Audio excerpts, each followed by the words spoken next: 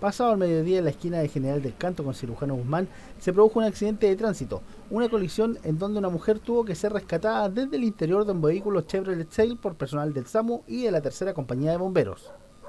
Bueno, fuimos despachados acá a General del Canto con Cirujano Guzmán.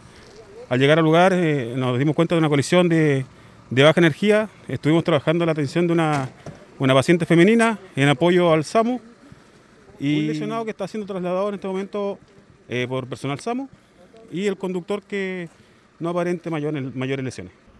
Los vecinos culpan a un camión que estaciona en la esquina y que tapa la visión de quienes circulan por ahí.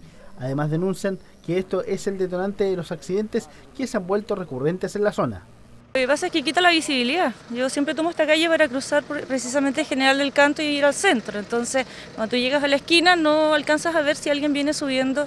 Y también esta calle es bastante eh, como rápida. La gente sube rápido y uno no, tiene la visibilidad para saber si uno puede pasar. Y se pueden producir estos accidentes. El camión está mal estacionado. No está a la distancia prudente de la esquina de la calle. Los vecinos dejan la inquietud acerca del causante de los accidentes y esperan que los dueños del vehículo puedan tomar las medidas para poder frenar los accidentes que se están produciendo en el lugar.